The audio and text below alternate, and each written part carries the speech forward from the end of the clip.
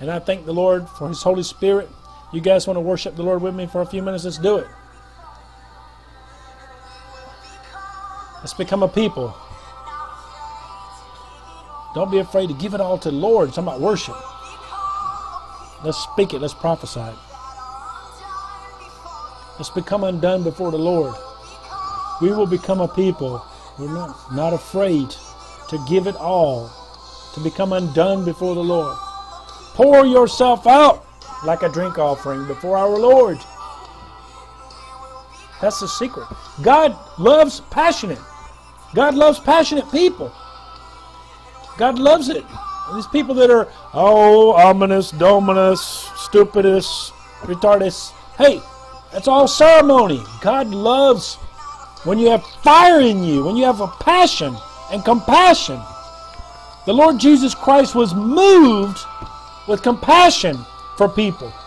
He even cried at the death of Lazarus, even though he knew he was about to raise Lazarus from the dead. He cried because the, the sadness of the people. The Lord is moved by our tears.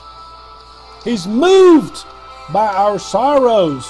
Says he's touched with our infirmities. God has emotions. We are created in his image. When you're going to become desperate enough and hungry enough, you're going to be like that blind man on the road to Jericho who kept crying out, Lord, thou son of David, have mercy on me. And the people told him to shut up, but he kept crying out more the loud. When are you going to become desperate enough, like the woman with the issue of blood? She pressed through the crowd and touched the hem of the Lord's garment. She had spent all of her money, it says in the Bible. She had spent all of her money on doctors and couldn't get cured. She still kept bleeding for 12 years.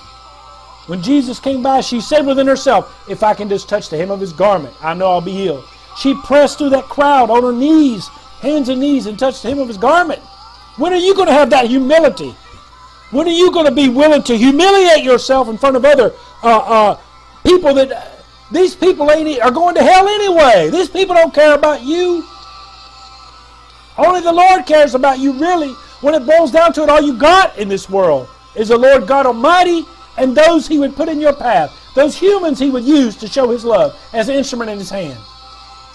It's the love of Christ working in us that makes us love each other. It's not our own love. It's the love of Christ. It's the Holy Spirit working through us. God's the one doing it all. Why are so many preachers and, and Christians ready to go out here and dance like a little monkey on a string what, with the devil's grinding the organ? The, devil's an organ grinder, and you're like a little monkey on a string dancing for peanuts from the world. That's the problem with all these pastors in the churches. They're like little organ grinder monkeys looking for peanuts from, from uh, the devil's people, the world. When you going to start performing for the Lord with all your heart? Stop performing for the world like a monkey on a string. What's wrong with you people? Wake up.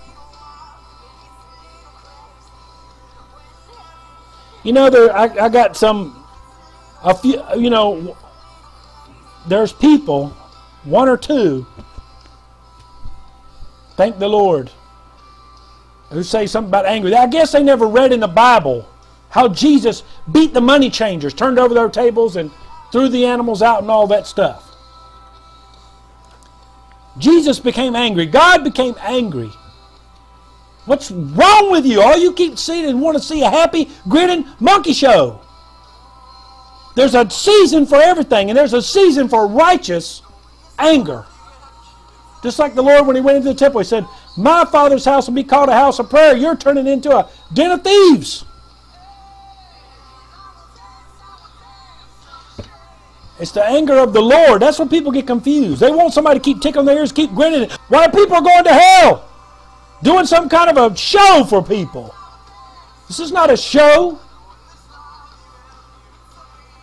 This is the Lord's business.